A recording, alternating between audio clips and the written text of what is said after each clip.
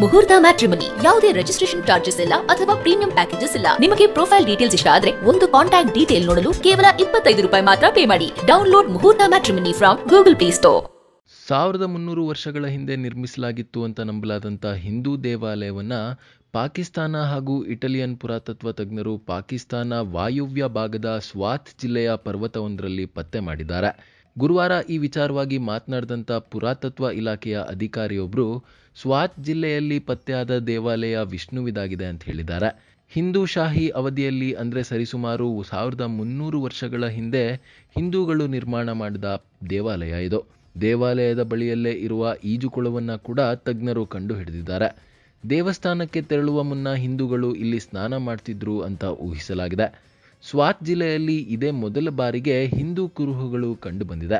ಹಿಂದೂ ಶಾಹೀಸ್ ಅಥವಾ ಕಾಬುಲ್ ಶಾಹೀಸ್ ಕ್ರಿಸ್ತಶಕ ಎಂಟುನೂರ ಐವತ್ತರಿಂದ ಸಾವಿರದ ಇಪ್ಪತ್ತಾರರ ಕಾಬುಲ್ ಕಣಿವೆಯಲ್ಲಿ ಇದನ್ನು ನಿರ್ಮಿಸಲಾಗಿದೆ ಅಂತ ಹೇಳಲಾಗ್ತಿದೆ. ಮುಂದೆ ಬರುವಂಥ ದಿನಗಳಲ್ಲಿ ಪಾಕಿಸ್ತಾನದ ಸರ್ಕಾರ ಈ ದೇವಾಲಯಕ್ಕೆ ಏನು ಗತಿ ಕಾಣಿಸ್ತಾರೆ ಅನ್ನೋದನ್ನು ನೋಡಬೇಕು.